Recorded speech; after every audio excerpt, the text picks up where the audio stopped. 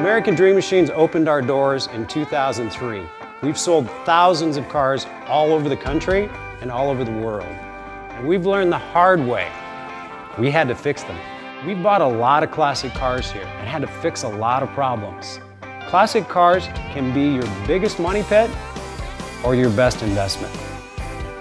The three-year bumper-to-bumper warranty with roadside assistance went out the window a long time ago with these cars. These cars do have older parts and they are going to break down. It's just part of owning an older car, and that's the reality. Whether you buy a car from an auction, another dealer, or American Dream Machines, there's a great deal of questions you should be asking before you buy the car. People always ask me, are your cars as good as they look on the internet? Yes and no. These 1967 Corvettes are some of the best I've ever seen. They're amazing, but not perfect. Every 50-year-old car is going to have 50-year-old parts, and that's what makes them valuable in the first place. We have some amazing cars here at American Dream Machines. If you're a perfectionist, though, it's very important that you come and inspect the car in person. There are imperfections with every 40, 50, 60-year-old car. There may be imperfections in chrome, there could be paint imperfections, glass may have marks on it, it may not be brand new glass like today. This is brand new, which is nice. You may have wear in the seats, wear on the dash. There could be imperfections with every one of these cars. Old cars are awesome. I love old cars.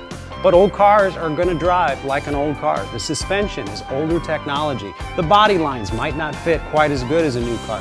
The rubber and trim is not going to be quite as airtight going down the road. People ask if our cars are restored. Some of our cars are restored to an extensive level, some of them are more driver quality. When you're asking about restoration, there could be frame-off restoration, there could be cosmetic restoration, rotisserie restoration, ground-up restoration. Make sure and be specific in regards to the type of restoration to make sure that you get what you expect. People ask, are your cars rust-free? We have some of the most beautiful cars, but none of them are really considered rust-free. The most beautiful cars that are trailer queens, you can eat off the bottom, even some of those cars have rust in the inner frame rails, in the quarters, and places where those cars are prone to rust. Better questions in regards to rust would be, are there rust issues with the cars? Have any panels been replaced? Are the frame rails intact? Are the bottom pinch welds of the rockers and the doors and the quarters intact from the factory or have they been replaced? Has the car had any accidents where panels have been replaced and Bondo has been used? Those are really good questions to determine how original the body structure of the car is. To me, the most important thing is metal structure. Metal structure in the body panels, also the foundation and the undercarriage of your car. The frame rails, the floor pans, the body supports need to be solid intact to make sure you have a safe car to drive. One thing you really need to know about old cars is sometimes old cars act their age. They will leave you on the side of the road. They will definitely mark their territory in your driveway. Our guys work really hard to make these cars run and drive the way they should.